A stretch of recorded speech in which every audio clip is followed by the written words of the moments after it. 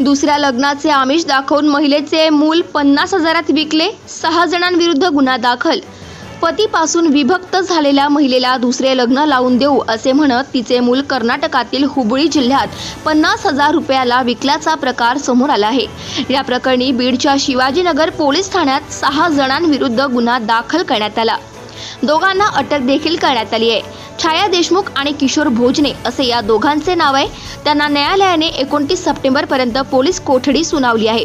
दरम्यान हा सर्व प्रकार एका महिला पोलीस कर्मचाऱ्याच्या सतर्कतेमुळे समोर आला आहे. दरम्यान या प्रकरणात आंतरराज्य टोळी असल्याचा संशय शिवाजीनगर पोलिसांनी व्यक्त केला असून त्या दिशेने तपास सुरू आहे. कोण आहे आणि कशा पद्धतीने कारवाई सुरू आहे? बरोबर आहे. अठरा तारखेला माजलगाव येथून दोन इसम दो एक महिला आणि एक पुरुष यांनी पीडित जी मुलगी आहे तिला संगनमत करून तिचे दुसरे लग्न लावून देतो असं म्हणून तिला पंढरपूर सोलापूर कोल्हापूर मार्गे ते बेळगावला गेले होते. बेळगावला गेल्यानंतर त्यांनी पीडिताचा जो एक वर्षाचा मुलगा आहे तो एका अज्ञात दाम्पत्याला पन्नास हजार रुपयामध्ये विक्री केलेला आहे. त्यानंतर मुलगा विक्री केल्यानंतर ते पुढचा प्रवास करून आले फिरून आले. आणि सोलापूर इथून बीडकडे अंबड बसमध्ये बसून निघाले होते. बीडकडे येत असताना मध्ये रस्त्यामध्येच महिला कॉन्स्टेबल ही त्या पीडित महिलाजवळ बसमध्ये बसली. बसमध्ये बसल्यानंतर जी पीडित मुलगी होती त्या पीडित मुलींना त्या महिलाला तिच्यासोबत जो प्रकार घडला होता मुलगा विक्री केल्याबाबतचा तो प्रकार सर्व त्या महिलाला सांगितला. त्या महिलाला सांगितल्यानंतर महिलाला थोडा संशय आला का किडनॅपिंगचा काय प्रकार आहे.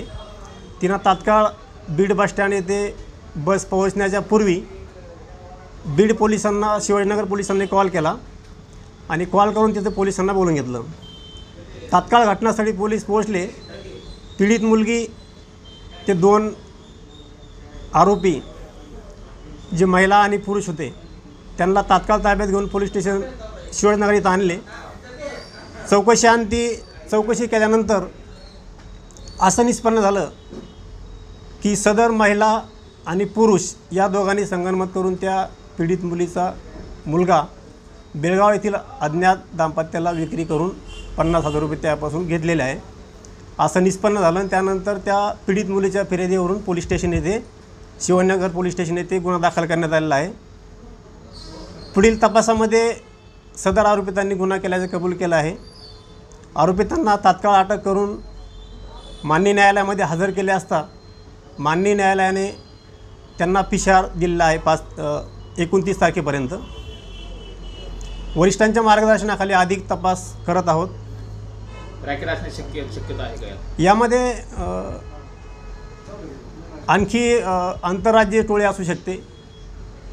आणि खूप मोठं रॅकेट यापासून याच्यातून आपल्याला उघडकीस येऊ शकतं. त्या पद्धतीनं आमचा वरिष्ठांच्या मार्गदर्शनाखाली पुढील तपास चालू आहे.